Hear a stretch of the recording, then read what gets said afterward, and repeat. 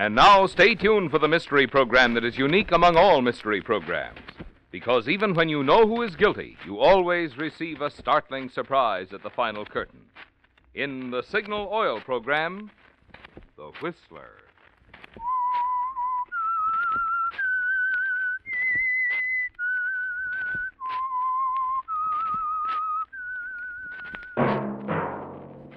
Signal, the famous Go Farther gasoline, invite you to sit back and enjoy another strange story by The Whistler.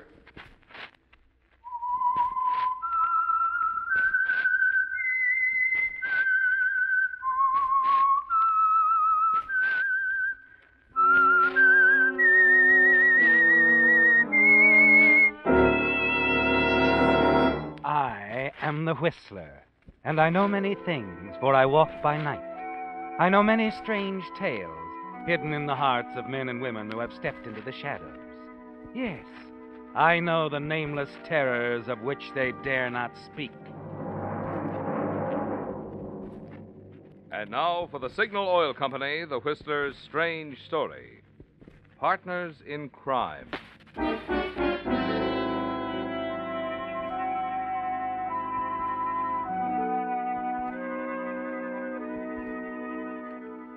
Fog clung in little patches of moving mist to the abrupt sides of San Francisco's Telegraph Hill.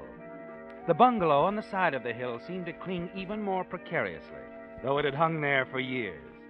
Below could be seen the twinkling lights across the bay. Inside the hillside house, a strange scene was in progress. A man lay stretched inertly across a couch at the far end of the living room. Elsewhere were the unmistakable evidences of a cocktail party and through it all a strange, ominous silence. It could be sensed outside by the two people standing on the front porch. They looked at each other and gasped in fear. John, Smells like gas escaping. I'll knock again. You don't suppose please, John, quickly. We've got to wake him up. Chris! Hey, Chris! Chris! Open the door, Chris!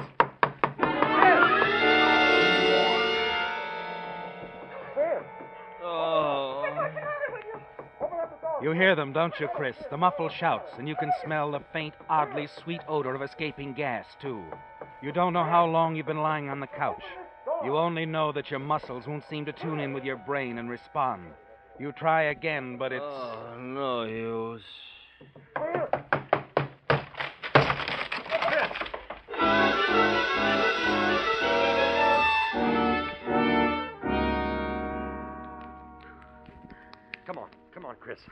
No. Chris, you're all right. Come on now. Come on. Ah. Yeah. Hey, you got me out of there. Sure, sure we did. Oh, He's all right. Oh. Chris, Yeah, darling. yeah, yeah. I'm okay, okay. Oh, that was close. Better stay with him a while, Eve. Yes, yes, of course I will. It's a good thing we came back, John. If your wife Helen hadn't forgotten her gloves. Yeah. First time it's been a good thing. The way she leaves Oh, things. well, thank goodness she did this time. Well, nothing more I can do. Better get back to the car. Helen will be wondering what's happened. Take care of yourself, Chris boy. Leave these Yeah. windows open like this and let the place air out. You can get that door fixed in the morning. Oh, yes, thanks, John. I'm, I'm okay now. Good night, John. And explain to Helen why I'm staying here. Sure, sure, I will. Chris. Oh, darling, you could have been killed. Yeah. Bad accident, huh? Was it, Chris? Was it an accident? That's the second time in two weeks. The last time it was the brakes on your car. Just coincidence, And- Eve. What about your partner, Fred? He was nearly killed twice last month. Chris, I, I can't believe these things are accidental. Oh, sure they are. They've got to be. I was careless about the brakes on the car, yes. Tonight, well, a little too much to drink. Maybe you left the gas jet on in the stove. I don't believe it. Well, I'm here anyway. Let's forget it. I can't forget it. You go on home now, honey. Get some sleep. You're upset, that's all. I am upset, Chris. I'm, I'm terribly upset. You'll be all right, darling. You sure? Sure, perfectly all right.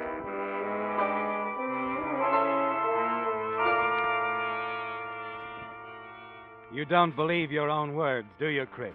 Eve's suspicion that it was more than an accident is an opinion you're sure is a fact.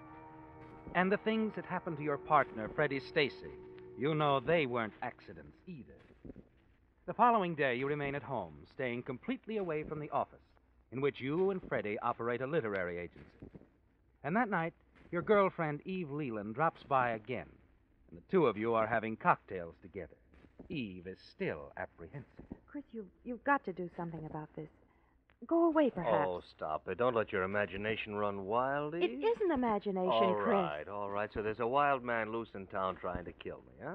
Me, Chris Matthews, who does nothing any more precarious than run a literary agency? It's something else. Something in the air.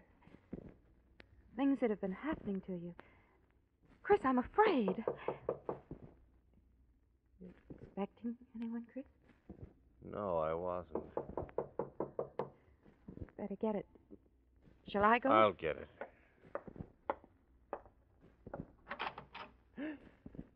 Captain Driscoll. Oh, no, no, no, it can't be. Uh, sorry, Mr. Matthews. Uh, you are Chris Matthews, aren't yes, you? Yes, yes, that's right. It, you, you look like My some- brother. I look very much like my brother, Captain Driscoll. Oh. Yeah, permit me, sir. I'm uh, Lieutenant Driscoll, Canadian Intelligence Service. Oh, I see.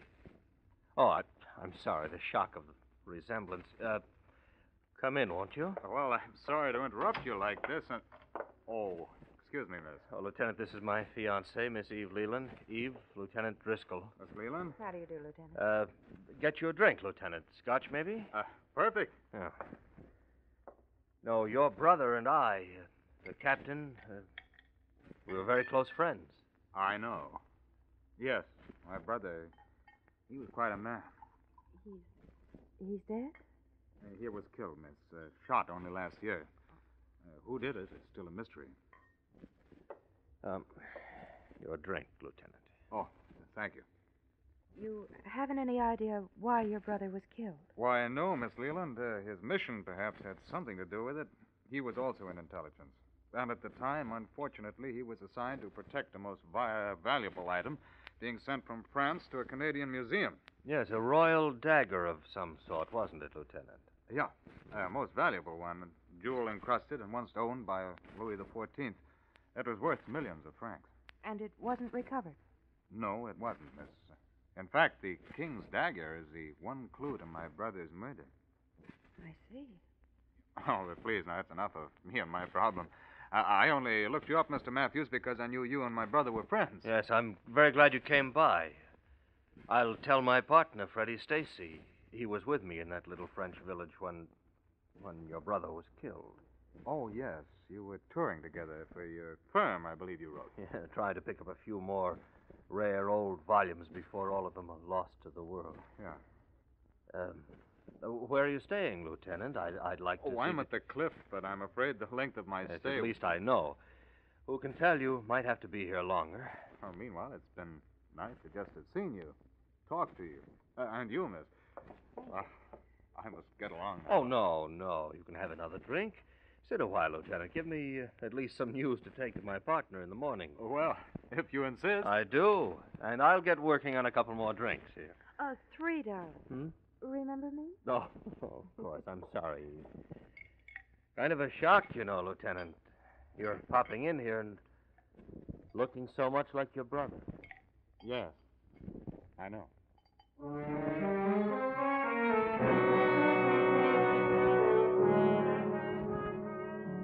There's a reason you're not thinking of Eve, isn't there, Chris? Yes. And the conversation for the remainder of the evening holds little of your attention. So you're glad when they both leave. Next morning at the office, when you walk in on your partner, Freddie, and confront him with the news, Well, Freddie, last night our past came calling. Huh? Captain Driscoll's brother. Looking so much like him, I almost thought I was seeing a ghost. What does he want? What's he doing here? He claims it's official business. I hope it has nothing to do with the king's dagger. We've got to get rid of it as soon as it arrives. We've waited long enough. I wonder if we can ever wait long enough. Well, your idea of laying it low. was as much your idea. Well, arguing isn't going to get us anywhere, Freddy. You don't seem to be worried. What is it, Chris? Some idea turning around in that conniving brain of yours? Some way of making me the fall guy? Blood pressure, Freddy. You You were always too excitable. And with good reason. Having you as a partner, a partner in crime. Partner in murder. Remember that, Freddie boy. It keeps us close. Close. And where are we? Where are we is right. We haven't even got that little diamond studded weapon in our possession. You know it's arriving in a few days. If we can trust your sailor friend, Higgins. I've told you we can. I've told you a dozen times. Oh, Freddie, let's stop this. Look where it's leading us. Feeling this way. Hating each other so that we What? could. What do you mean by that? I mean the two accidents I've had this week. Well, I've had two myself. What are you implying? That I. That I'd best get rid of you before you get rid of me, Freddie. Nonsense. You talk like a fool. Do I? Do I really? You know, I've I've had a terribly strong hunch about something. Yes? A hunch that one of us, one or the other, will be quite dead when Higgins' ship pulls into San Francisco Harbor. Don't say that. I can't help it, Freddy. It's on my mind. The thought that one of us will be dead. I wonder which one. Don't you, Freddie?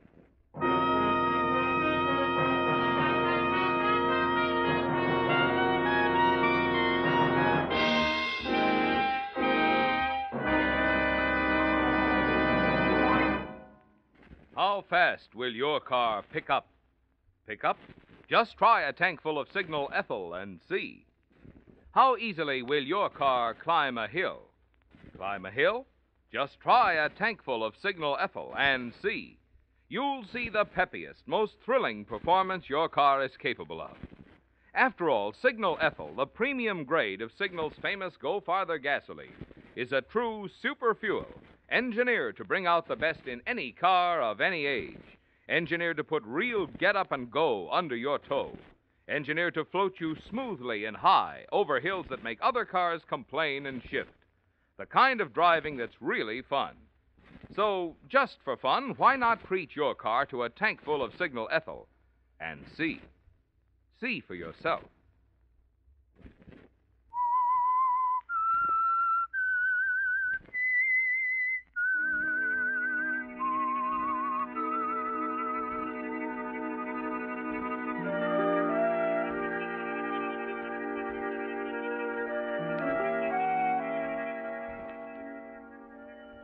Toying with your partner, Freddy, were you, Chris?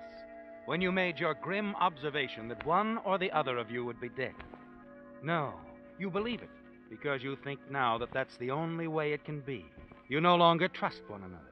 You watch each other like a pair of sentries, fearful that at the least expected moment the other will strike. That's the way it is for the next few days after you talk with Freddy about the brother of the man you two murdered. You decide your partner must die soon, and you must take over the Louis XIV dagger yourself. Dispose of it as quickly and as quietly as possible. That's why you keep in constant contact with the steamship office. Call them again when you notice in the papers that Higgins' ship is listed under delayed arrival. Hello. Hello.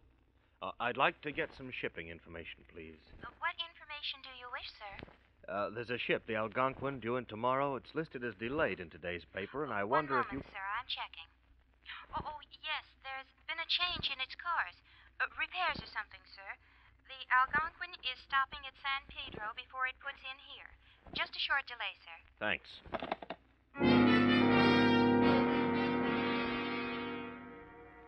As you hang up and leave the bungalow, an idea suddenly occurs to you, doesn't it, Chris? Yes. And as you drive downtown, a plan begins to take shape in your mind. Before going to the office, you stop and send a wire to Seaman Al Higgins, care of his ship in San Pedro, asking him to phone you. Just before lunch, you're at your desk when the phone rings. Hello? That you, Mr. Matthews? Yes? Alfie Higgins here, Governor. What's wrong? Oh, Higgins. Uh, nothing's wrong. Nothing at all. Well, now, that's a relief to hear, that is. How did everything go? Smooth, Governor. No trouble at all. Oh, good. I hope this here delay isn't going to cause you any hardship, Governor. As a matter of fact, it does make things uh, sort of awkward. But there's a chance we'll be shoving off late tonight or first thing in the morning. I'm afraid that's no good, Higgins. Uh, now, you'd better wait for me there. Oh? I'll leave right away and meet you in San Pedro tonight. Well, it might mean I'll have to jump ship. Oh, you won't mind that, will you? oh, no, I won't mind it a bit, Governor. Where'll I find you? You just ask for Alvy Higgins. They all know me along the waterfront. Now, let's fix a time and a place. Well, there's a, a little hotel not far from Now, the docks. now, wait. I've got a better idea. Um, a friend of mine has uh, a beach house in Redondo. Why don't we meet there? Nice and quiet. We won't be disturbed. Whatever you say, Governor. Well, the address is 81374 Coast Road. Eight, one, seven. Eh, no, 81374. You'd better write it down. I'll remember it. No, write it down. Eight, one, three, seven, four. Coast Road. Got it? All right. I should be there around midnight. Midnight it is. Oh, and Governor, Yes? you'll have my money, eh? 10,000. Cash. That was the understanding. All right. You'll get what's coming to you, Higgins. Don't worry.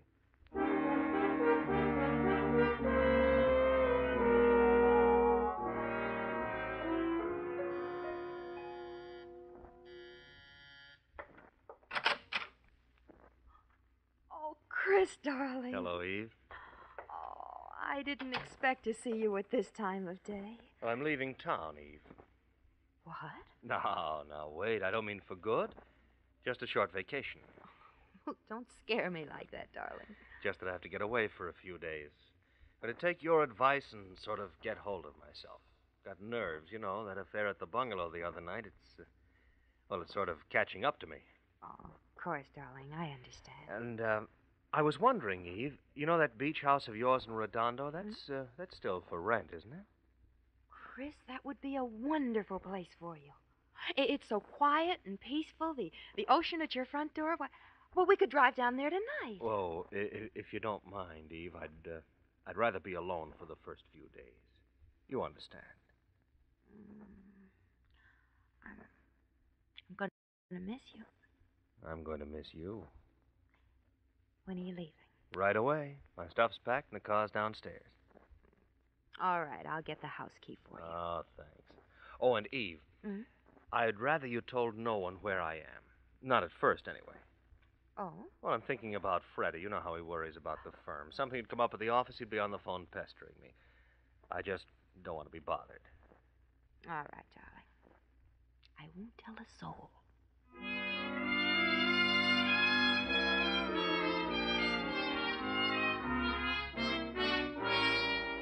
It's regrettable, isn't it, Chris, having to give up a girl like Eve? But she just doesn't fit in with your plans, does she? You've made up your mind, know exactly what you're going to do. Once you take care of Alvy Higgins, you'll drive on into Mexico with the King's Dagger, contact the interested buyers from there. After you've received your money, you can drop out of sight, and neither Freddie nor Eve will ever find you.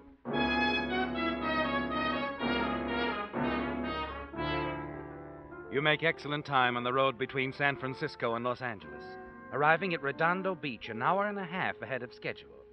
You're eager to get it over with, aren't you, Chris? So you drive on to San Pedro on the chance that Higgins is still aboard his ship. Hello, you up there. Yeah? What, do you, what can I do for you? I'm looking for Alvy Higgins. Is he aboard? No. Went ashore a little while ago. You did, huh?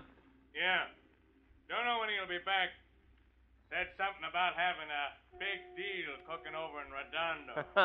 okay, thanks. You've missed him, Chris, and that means you'll have to go back to Redondo and wait for him. You walk back to your car, and as you get in, you sense a sudden movement behind you, and then the cold, unmistakable feel of a gun in the back of your head. Hello, Chris. Uh, Freddie? Surprised? you see, I took the trouble to call the steamship line, too. And when you didn't come back to the office this afternoon, I got a hunch you'd be headed this way. Look, Freddie, can't we talk this Sorry, no deal. This, as they so often say, is the end of the line for you, old man. Start the car. Oh, Freddie, listen Start to the car.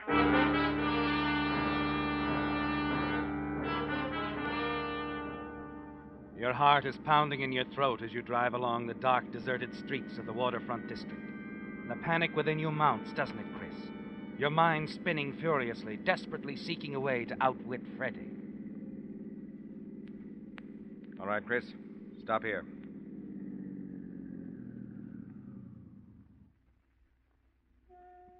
Now, get out. Now, Freddy, wait a minute. Move. Go on, straight ahead out there on the dock and keep in the shadow. How'll you have it, Chris? The back of the head? Just like you gave it to Captain Driscoll? Freddie, listen to me. Listen, you can have the dagger, my share of the money. If I let you live. And the firm, I'll, I'll get out. I'll leave that to you, too. Oh, there'd be too many complications, too many papers to sign. You might change your mind. no, I swear no, I won't. No, It's much simpler this way, old man. A well placed bullet and our partnership is dissolved. All right. This is far enough. Now turn around. I'll turn around, all right. Wait, You lunge with a suddenness that takes Freddy completely by surprise. Then your fist catches him full on the jaw. He staggers back, crashes into some empty crates. In an instant, you're on him. All right, Freddy. I've got the gun now. So you, so you have, old man. So you have. Now get up. Look, Chris, old man. Don't move. I, I don't suppose you'd be interested in a little proposition. no, I don't suppose you would be. you don't have much time, Freddy. As soon as that freight train is close enough to cover the sound of the shot, you're going to get the bullet you promised me. Me.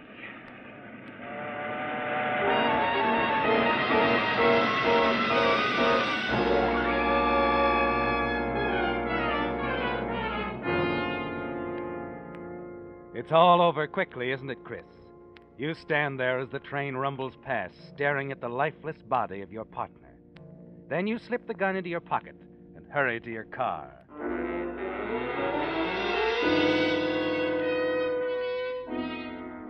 A half an hour later, you're at the beach house in Redondo. It's only a few minutes after 12, but you're pacing the floor nervously, occasionally stopping to glance out the window.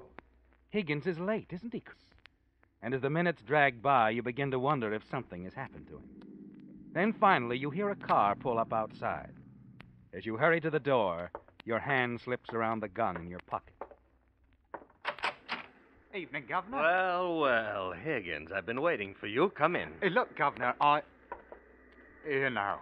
What's the idea of the gun? Oh, I'll explain it all to you. Inside, Mr. Higgins.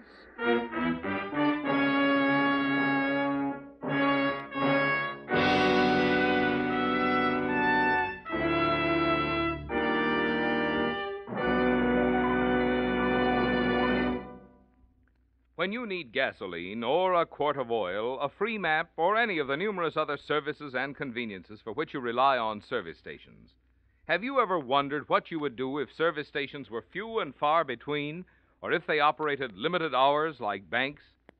Fortunately, however, you don't have to worry about this because there are 200,000 service stations throughout the states to deliver the 40 billion gallons of gasoline Americans now use per year and 15,000 independent oil marketing companies working in free competition are constantly striving to furnish ever finer petroleum products at lower prices. As a result of this free competition, although prices of so many things have skyrocketed, gasoline itself today costs no more than it did 25 years ago. Only gasoline taxes are higher. But the quality of today's gasoline is so much better, two gallons now go as far as three used to. I tell you these facts because throughout America this week is officially known as Oil Progress Week. But when you consider that U.S. oil companies spend over $100 million on research each year, and oil scientists have created more than 8,000 new inventions in the last five years, it would be much more accurate to say every week in free America is Oil Progress Week.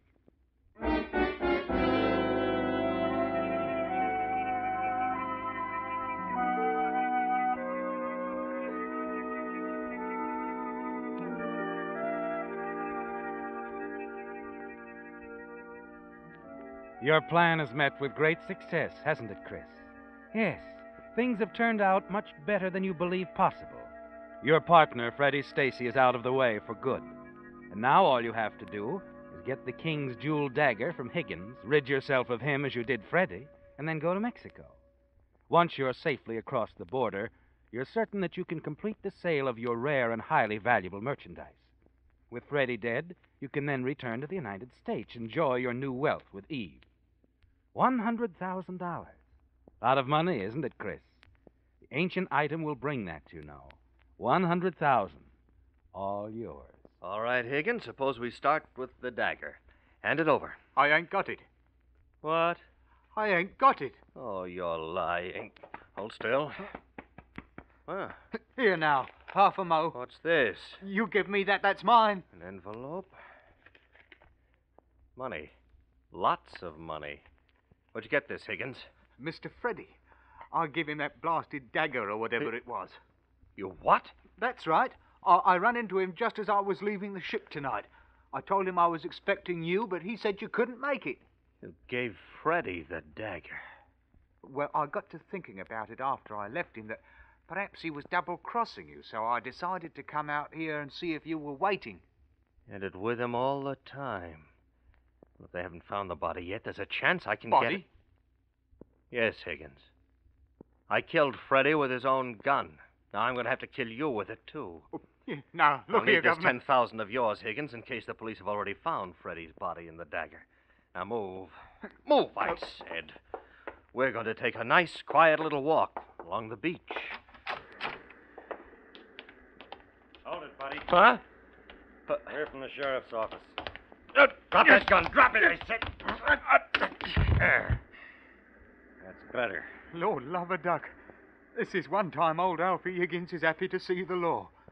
This bloke was going to kill me. Uh, that's the way it looked to us. How, how do you gents happen to get here? A man named Fred Stacy was shot to death over in San Pedro tonight. When we searched his body, we found this jewel dagger, all wrapped up in this paper. Just plain wrapping paper. But there's an address scribbled on it 81374 Coast Road. That's this place right here. Higgins, did you? That's right. I wrote the address down, just like me you asked me to. Remember, Governor? You insisted upon it, and oh, blimey, Alfie Higgins obliged.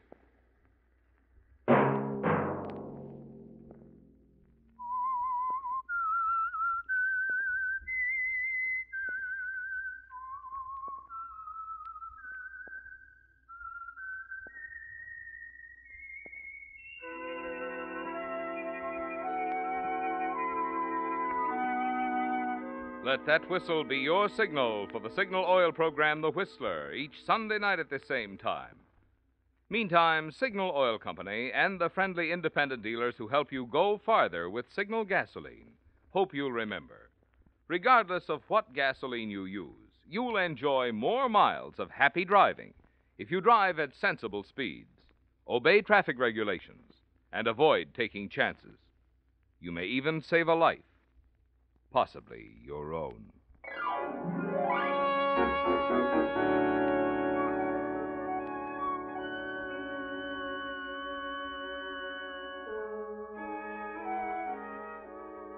Featured in tonight's story were Bill Forman as the Whistler, Larry Dobkin, Michael Ann Barrett, Ted Osborne, Ben Wright, and Herbert Lytton. The Whistler was produced and directed by George W. Allen, with story by Adrian Gendot, music by Wilbur Hatch, and was transmitted overseas by the Armed Forces Radio Service. The Whistler is entirely fictional, and all characters portrayed on The Whistler are also fictional. Any similarity of names or resemblance to persons living or dead is purely coincidental. Remember to tune in at this same time next Sunday when the Signal Oil Company will bring you another strange story by The Whistler entitled Alias Mr. Alden, a story of intrigue and excitement set against the fabulous background of Singapore. This is Marvin Miller speaking for the Signal Oil Company. Stay tuned now for our Miss Brooks starring Eve Arden, which follows immediately over most of these stations.